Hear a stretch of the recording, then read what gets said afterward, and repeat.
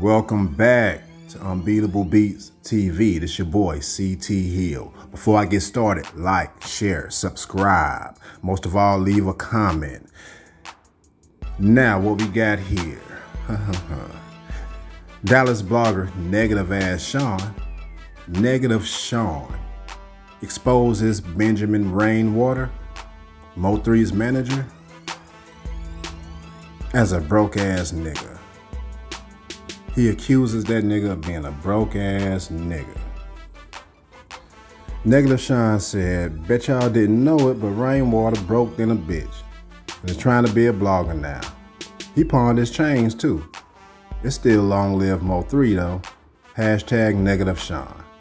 Then he went on to say, Tell him the truth, Rainwater. Why you ain't pay me? I know the facts. Then someone said how he broke if he if Don just signed to Empire.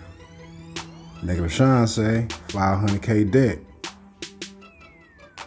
Then he says it ain't no beef, just being honest. So negative Shon says that Rainwater is $500,000 in debt. The thing that blows me about this whole situation, about this whole exposure, is that Negative Shon, don't get me wrong, Negative Shon is a great blogger. I'm actually a fan of his work. But Negative Shon was one of the bloggers in Dallas that that was caping for Rainwater when everybody had their uh, skepticisms and speculations about rainwater being a snake and and and how there are possibilities and and and, and discrepancies in his story about why people think that he set Mo3 up.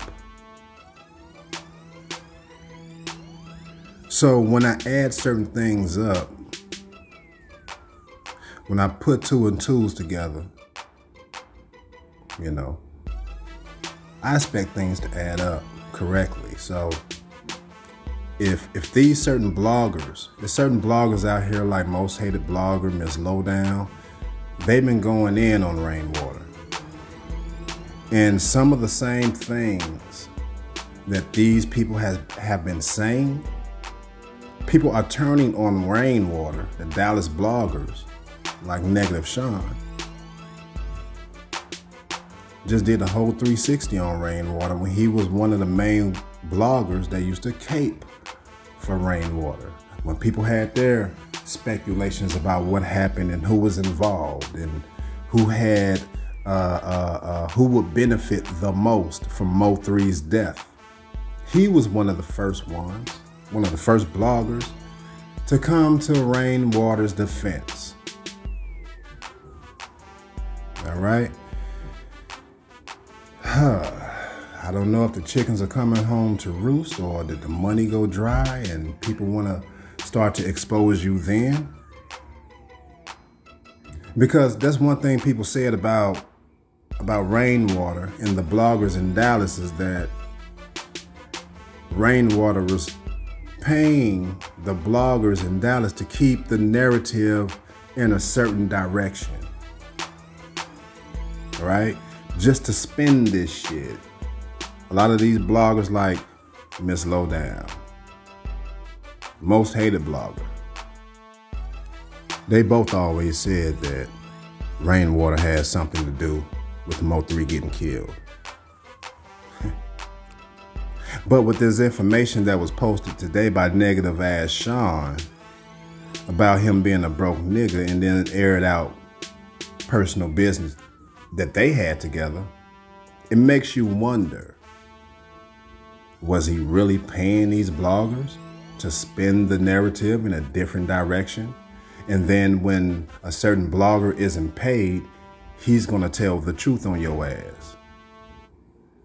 This change the whole narrative of what's going on because Negative Shon is a very popular blogger in Dallas. Very. Even I had my speculations, but I let it go. I never said nothing. You know, I you know I had my speculations about rainwater, but it is what it is. I, I kind of fell back from it. But here we go again. It's a scab that we're about to reopen. And before I go, I just got a question. If so many people are saying the same thing about the same person, is it true? Because Jossie Banks said it. Most hated blogger said it.